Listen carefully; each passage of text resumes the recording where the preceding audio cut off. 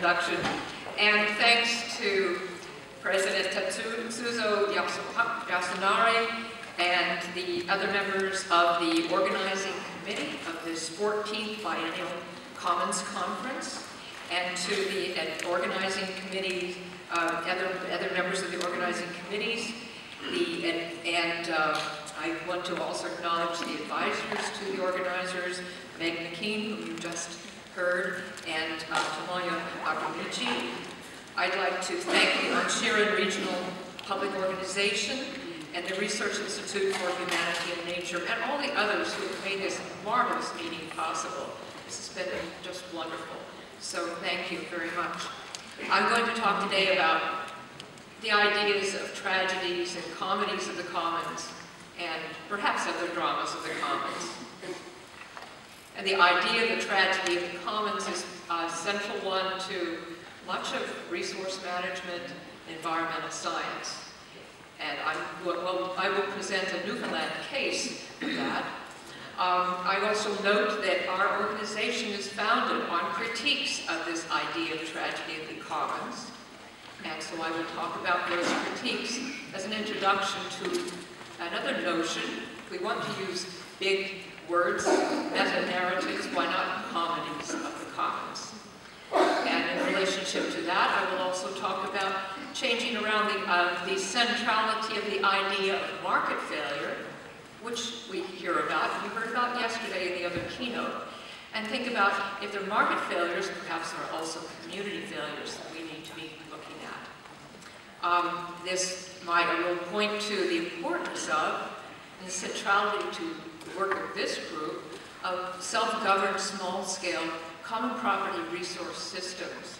And this is, of course, what Elinor Ostrom is most famous for, her work of governing the commons and others, other contributions she's made. I will talk about a case uh, I've done research in Baja California that exemplifies some of those, some of the features of self-governed small-scale CPRs. And I'll use the term CPR here, by the way, to refer to common property resources, not common pool resources. So I will talk about community failure. I will give a Newfoundland case for that. And then uh, I'm going to end with a discussion of ecosystem-based management and adaptive governance. And I will refer briefly to research that I'm doing now in the Mid-Atlantic area of the United States, and particularly to the work of Doug Wilson, who just received an award from the Society for his work, his contributions to the Society, and is not able to be with us today. So that's my plan, and here are some of my conclusions. Uh, one is that tragedies of the commons, which do occur, can be caused by both market failure and community failure. Number two, comedies of the commons are real, and they're important, but they too can be threatened by outside forces, climate change, globalization, markets, and so forth, as, as well as by privatization. And the third one, the third of the conclusions that I hope to leave you with is the importance of ecosystem-based management, but also how it creates very real scale and integration challenges. At the same time, it also creates openings for more creative and adaptive governance of the commons. And I will I hope to have time to raise a question about whether we should be using these narratives about tragedies or comedies or whatever, or let facts speak for themselves, and the importance of specifying what is actually happening, the institutions involved, and so forth. And maybe the central question is to better understand the conditions under which people respond to signals of environmental change in ways that are corrective rather than making things worse. So here's the model that we, we are responding to in many ways, we grow up with, is an icon of our work, and this is uh, the way it may be representative, fisheries where we have both uh, effort and yield. And we have, uh, the more effort you put into something, the more yield, and then there's a declining slope as the yield gets less and less, the more effort you put into it. And that's one of the beginnings of a tragedy of the commons. This is the open access commons. And then we have the costs that intersect with the yield, And the point at which the costs intersect with the yield is the point at which the tragedy begins. This is the tragedy of open access, when there is no, nothing to prevent effort from increasing in response to some kind of resource availability. Now then, we, but we can find another point here, which we would see as perhaps socially more desirable, where we're getting more yield from the resource on a sustainable basis, the point of maximum sustainable yield. And then if we looked at the point at which perhaps we have the largest distance between costs and yield, the highest profitability, it might be a very different point on this curve. So this sets up the, um, the kind of paradigm for understanding the open access commons and then the reasons for wanting to regulate the commons, either by state regulation or letting or, or changing the conditions of the commons and property rights to let markets take over. So this is the open access problem, and it is one we recognize and we can see in our own experiences. My own interests lead me to make choices that work against the longer-term interests of both me and others in my community. And even if I know this, given the structure of an open access system, I have little reason to change because others are likely to take what I would have taken or they're likely to do what I would have done. And here's a cartoon from the New Yorker magazine that kind of shows what this is like in fisheries, which is, uh, fisheries is where you can find open access commons all over the place. And the old uh, community development slogan, if you, if you give a man a fish, you'll feed him for a day. If you teach a man a fish, you'll feed him for a lifetime. Works out a little differently in a very competitive fishery, where if you teach a man to fish, you're really stupid because you've got more competition. So this is the background for the understanding of tragedy of the commons as market failure, where by market failure we're referring to the existence of no property rights or imperfect and poorly defined property rights that makes it difficult for markets to work to try to, to provide incentives to come out with the, uh, the best results. So the incentives are perverse and we have the opposition between what is rational for the individual and what might be socially or ecologically rational.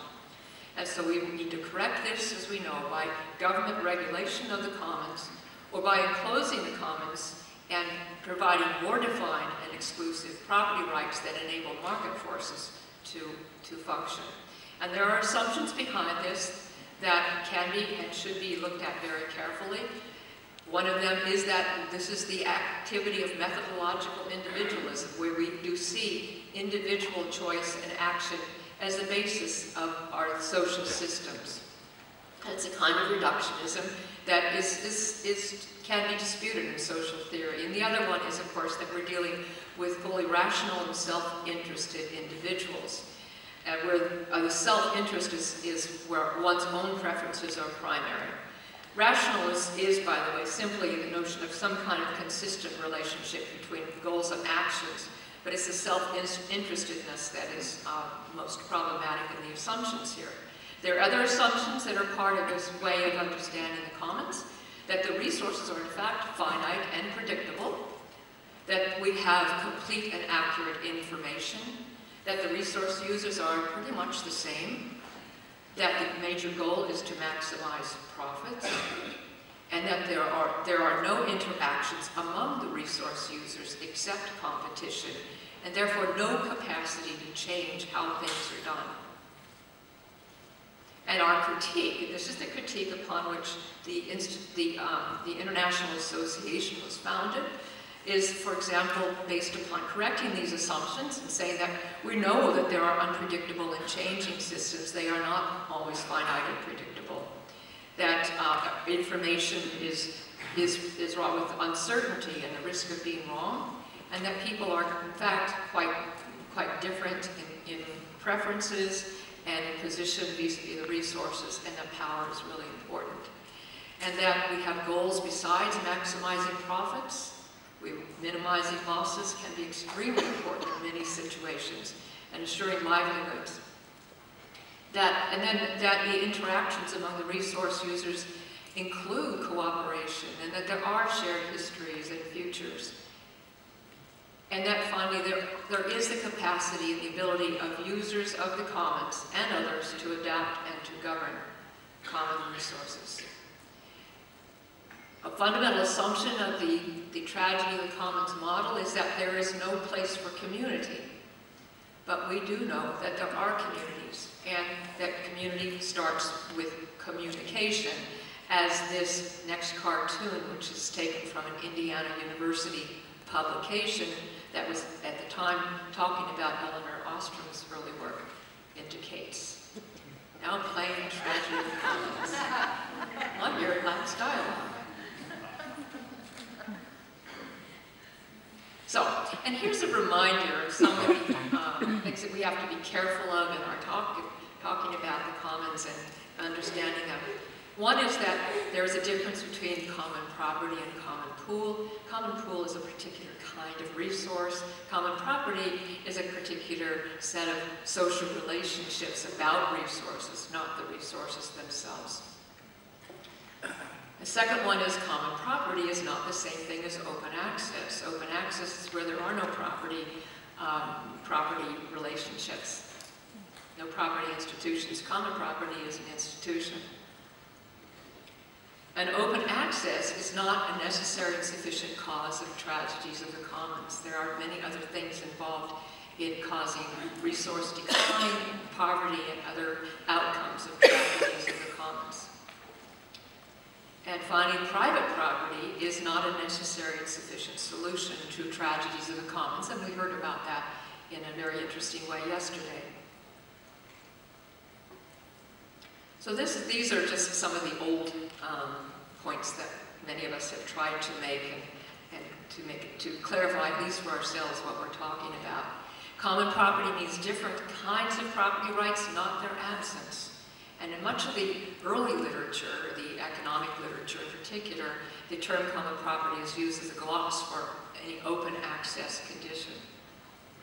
And this fundamental notion that under some conditions, common pool resource users can and will cooperate for common interests. And one of the ways they will do that is to work together to change the governing institutions, that they can indeed create common property.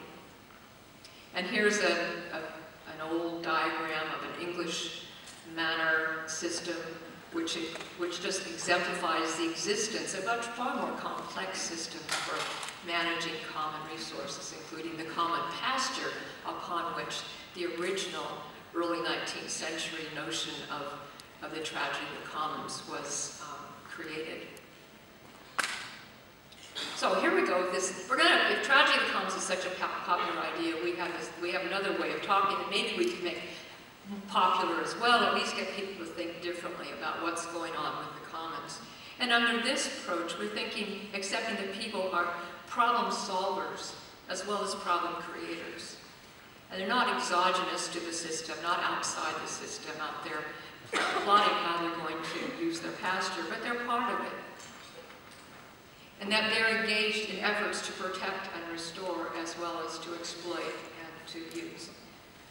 People, and not as tragic individuals, but as so social beings trying to deal with and correct problems that they that confront them. And so we use this old encyclopedia definition of comedy, Greek comedy, to exemplify that, the drama of humans as social rather than private beings a drama of social actions having a frankly corrective purpose. And one example of this, as in my own research in fisheries, is found in, in Baja California with the fishery cooperatives, which are in very many ways similar to the Japanese cooperatives, fishery cooperatives.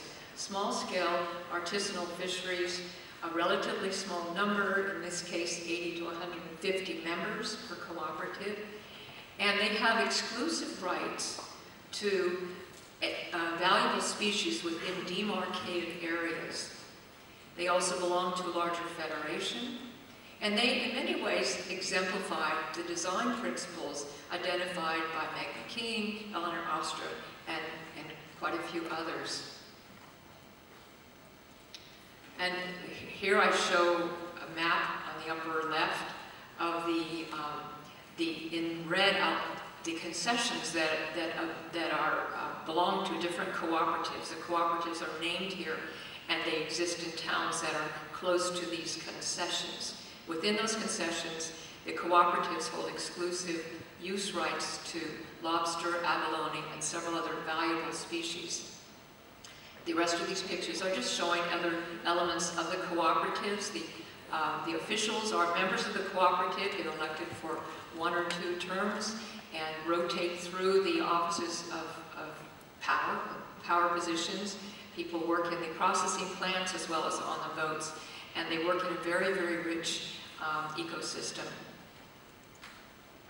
So in studying this particular system, we've found that um, some, some of the points that Ostrom has made about self-governed common pool resource and common property systems are, uh, make sense. One is that it's improvement of the resource is feasible. It's not a situation where it's gotten so depleted and so diminished that it's very hard to muster the basic resources one needs to make improvements. And this is a case in this case. It's a very rich ecosystem. Um, it's, a, it's, an upwelling system ocean, in oceanography terms.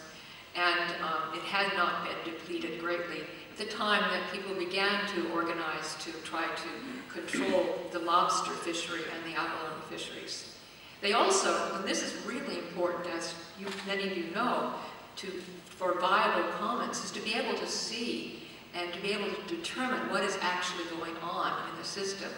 And in this, in, for lobster and abalone in relatively shallow waters, it is possible to actually go down and look, to dive and to see, to count, to monitor, and to become, come up with uh, relatively affordable or inexpensive indicators that you can rely on to know what is actually happening and to know whether or not it makes what your efforts to manage the resource have made a difference. The resources themselves are relatively predictable, and the system itself is small enough for accurate knowledge of boundaries and, and, the, and the environment.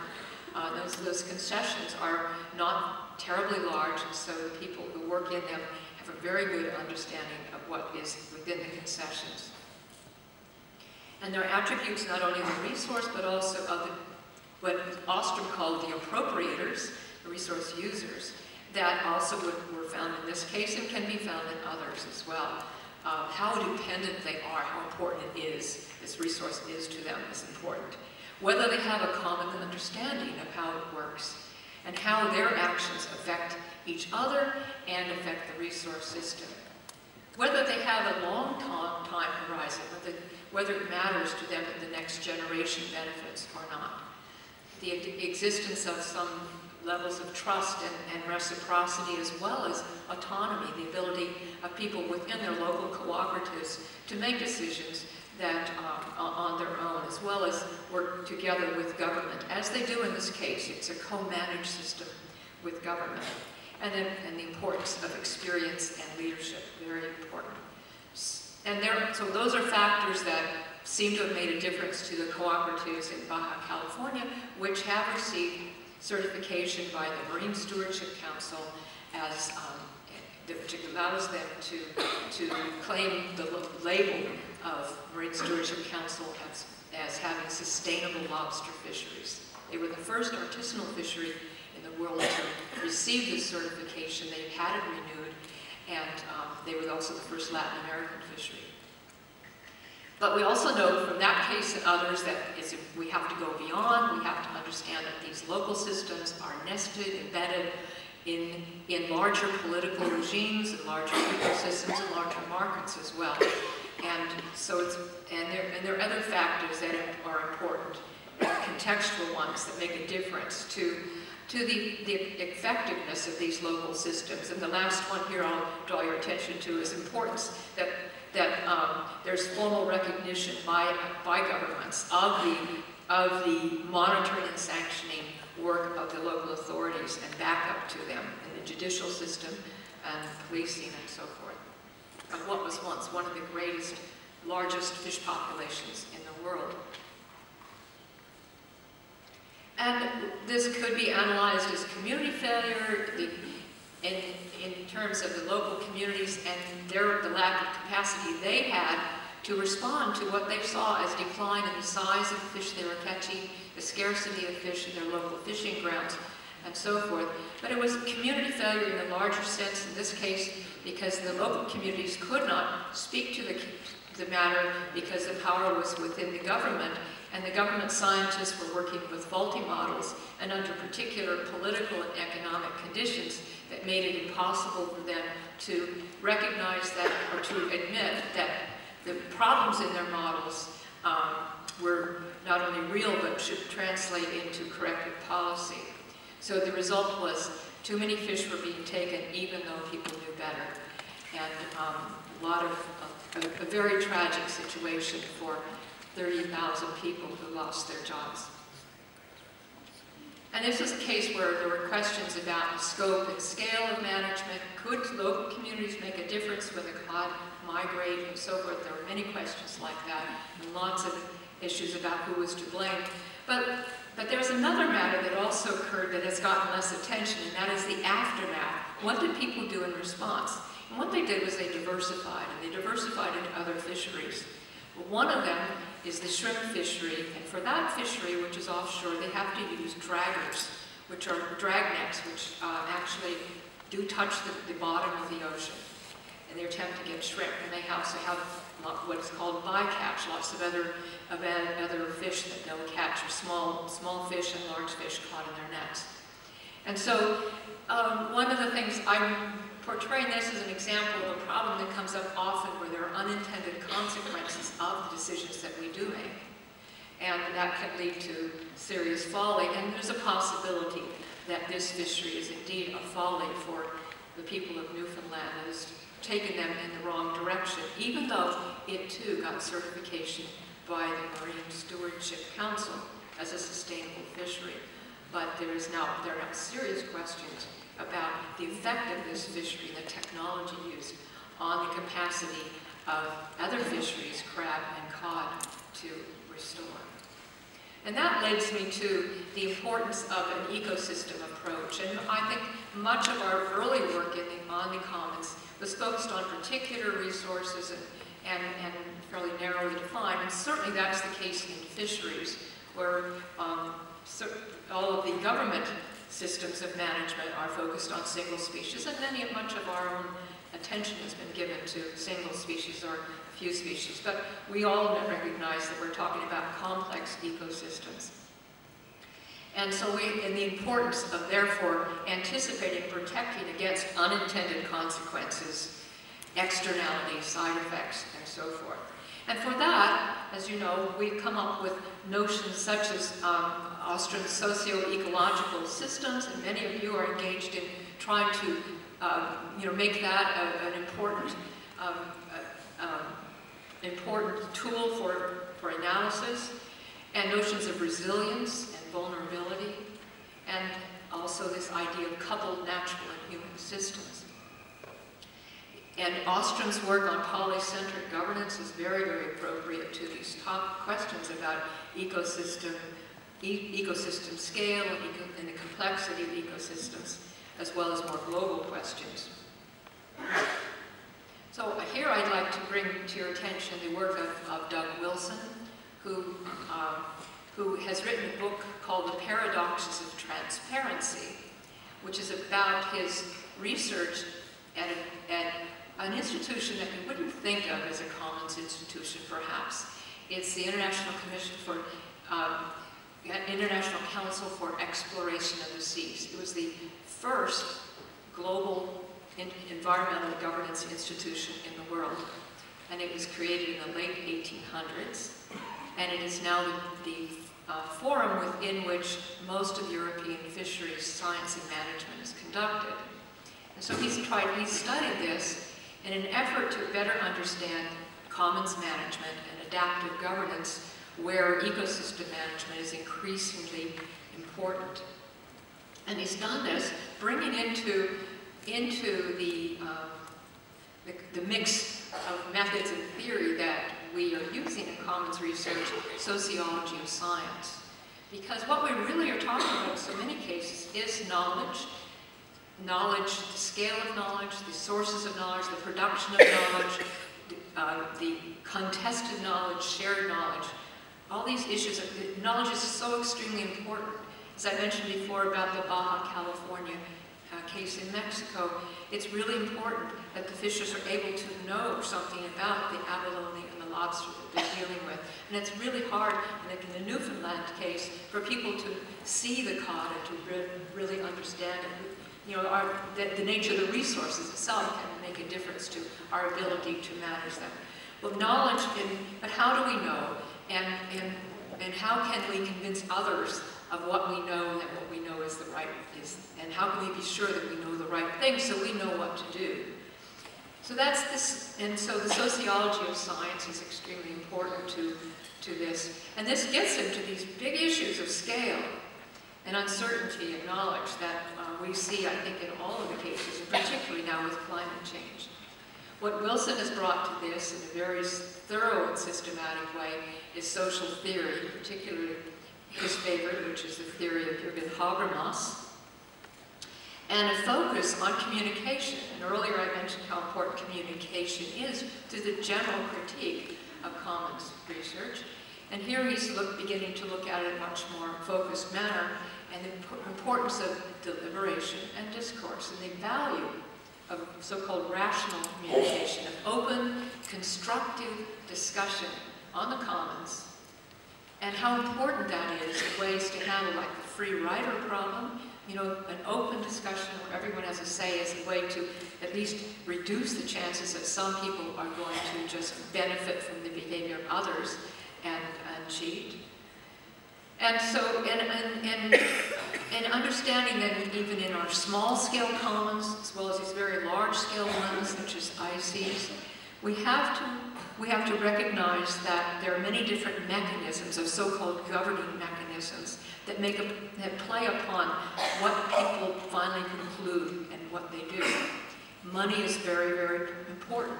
Political power, prestige, authority, just social interactions, influence, and so forth. All of these are really important to affect um, what people say, what they accept as true, what they're going to base their decisions on. And so, highlighted here is the importance of finding forums, finding ways that people can be much more frank and honest and really discuss the matter with setting aside uh, personal influence and power, money, and so forth. And how important it is to have shared assumptions um, and, and, and, and, and learn each other's language. And I think even in very small scale commons, you've, you've learned this as well, but it's, and it's, it's just as important in uh, large scale systems in the European Union and other places. And so, and more, uh, we, we're looking at this, we're looking, we have a large project on climate change and a fishery in the United States for something called the surf clam. Where the, and there are some serious questions there, scale questions, whether we're talking about the whole stock over a very large region, or we're talking about smaller, uh, smaller scale stocks of clams, and whether, and that makes a big difference to management, but it also is, is where, how climate change, is. climate change is affecting clams in some places and not others, so scale becomes very important that way. We're looking at issues of science and knowledge construction and how scientists are dealing with the importance of maintaining their professional identities because that's really critical to the extent to which their, their messages will be heard, but also opened up and transparent to the participation of people from the fishing industry and environmentalists who have also have much to, to say. So this whole issue that sociologists and scientists, science will talk about boundary maintenance and so forth is very, very critical, in fact, to what happens in these arguments. But looking for the places and times in which there really is rational communication, as opposed to the times when that's sort of set aside and, and, and, and interest um, and legal authority and money play. It's one of the things that we're doing in the research that we have on this very coupled system of uh, the dynamic ecosystem shown on the far left, the clams, the clammers, the technology, the processing plants, the workers, the clam meats, and uh, finally the clam chowder that we love to eat. And we've studied how committees are working on this, how the research team works, interdisciplinary work, how do oceanographers communicate with anthropologists, how do researchers from universities communicate with government scientists and with people from the industry. And the, the whole information flow process, which, which goes into stock assessment, which is a central action that then leads to decisions by managers. And I'm not going to go into the details of that because I'm sure you are not, um, you don't care about what happens to the Atlantic surf clam as much as I do. But um, if you know, you have to know one to like one. But anyway, we're you know, questions. Some of the basic questions like, how do you know what's true and what's not true? And when you're in a meeting, how is that negotiated? And what kinds of languages do make a difference? And which languages are people people most comfortable using and which are most effective in persuading others? How important are graphs and charts and numbers versus anecdotal uh, evidence and stories that people have to say, and how do those, how do those get negotiated? Uh, how does collegiality work out when everybody is, is in it together, but some people actually are lawyers working for industry and other people are scientists working for government and trying to be work together really closely but recognizing that they have very, very different backgrounds and interests and so forth. So this is just an example of how one might be, begin to look at um, these larger enterprises, large-scale commons, more complex commons, and ecosystem-based management, and, and join in what is actually a large-scale effort to come up with more adaptive or improved governance of these large-scale systems that we have in fisheries, forests, climate, and so forth. And these are big challenges, particularly at the global scale and regional scale. And here we get back into a paradox that Doug Wilson has identified very, I think, very well.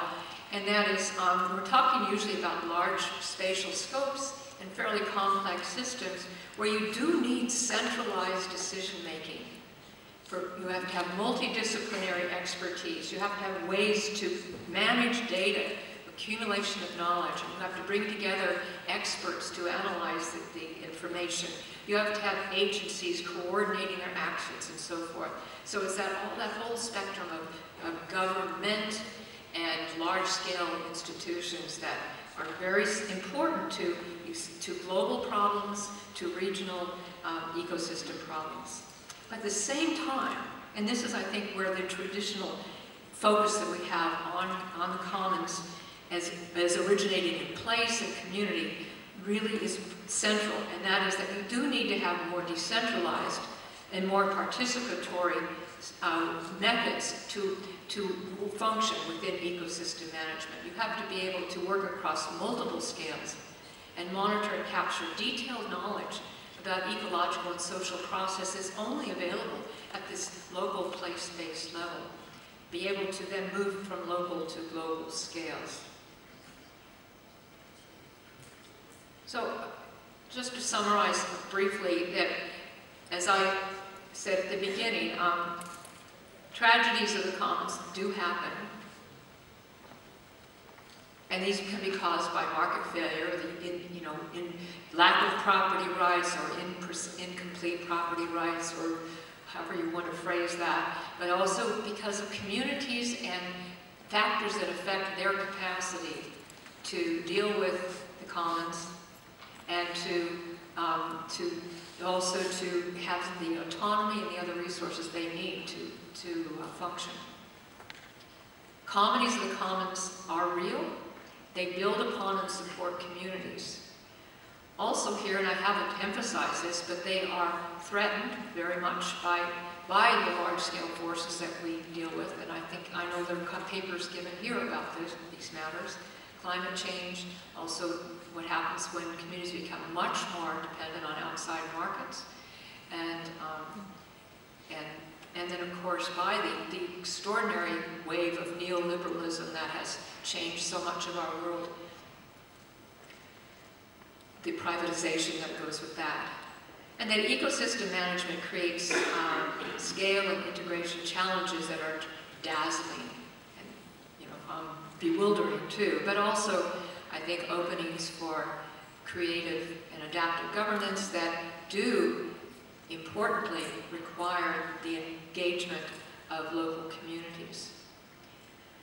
And, but to conclude though, I think that there are some risks of playing with the language of tragedies of the commons and comedies of the commons, romances of the commons, whatever you want to say, using these, these, these terms, because they, they signify models that um, may, may mislead us, and it's just a, kind of a, a lesson about doing, doing good science, that we need to look carefully at the facts, think about the questions we're asking and whether they're appropriate questions, um, letting, letting, trying to understand what is actually happening. And I, and I, I try myself in my work to get back to the basics. And I think for me, the basic has to do with how people are responding to the signals that they get about what's about changes in their environments.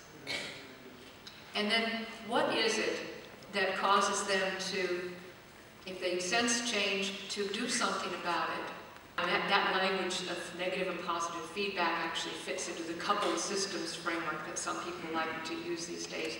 But really, it's, it's much more simple than that. What is it, and what is it that makes it possible for people to work together to, to deal with the issues of commons that they, they live with and they depend upon? And what is it that leads them to agree to take on some of the sacrifices that they need to take to make things better for themselves and for the future?